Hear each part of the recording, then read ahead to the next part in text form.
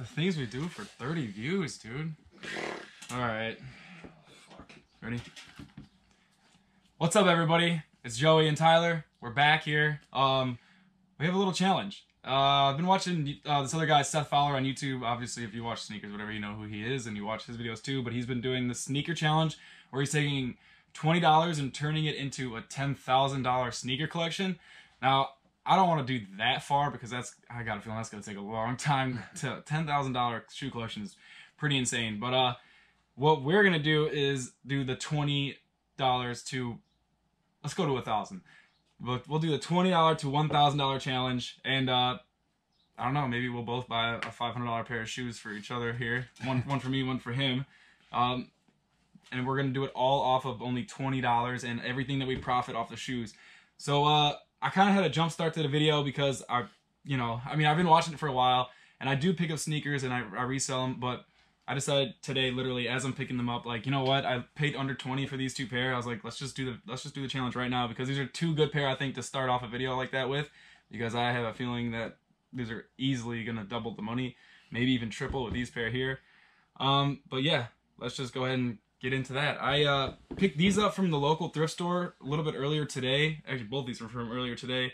These are the Nike Air Max uh, Wasafu Los Primeros. I'm sorry if I butchered that terribly, but uh, they just need a little bit of a cleaning. They're size 10 and a half, I believe, if I remember correctly. But yeah, see down there, 14.99, not fronting or anything.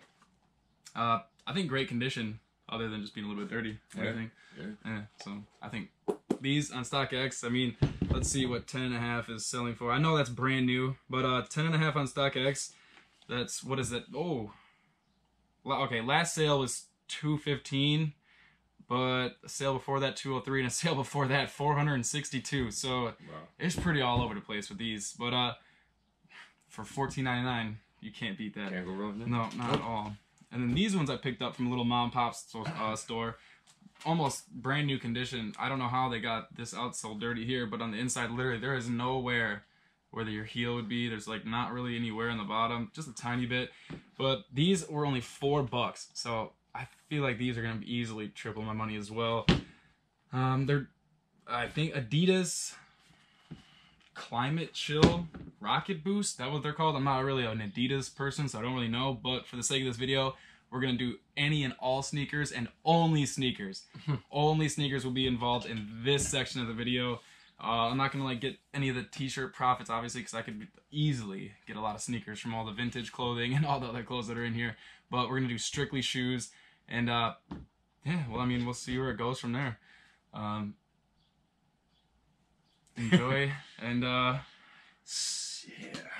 Yeah. see where we can go from here. Hopefully, we get a thousand dollar sneaker start of a collection because I know one sneaker could do that whole damage on that. But like, I don't know. Will we space it out? Get four pair, get five pair, Five. get two pair, Sure. get no pair, and just You pocket five hundred each. I like cash. I mean, I like cash too. Stay tuned, find out.